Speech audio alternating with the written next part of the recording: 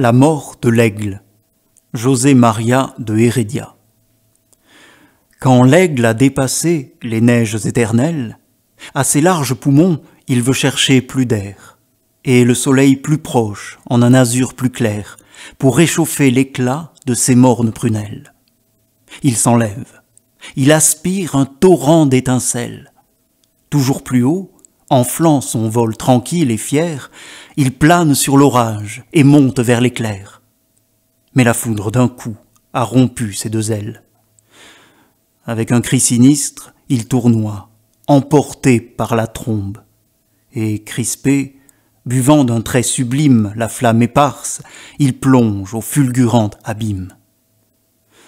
Heureux, qui, pour la gloire ou pour la liberté, dans l'orgueil de la force et l'ivresse du rêve, meurt ainsi, d'une mort éblouissante et brève.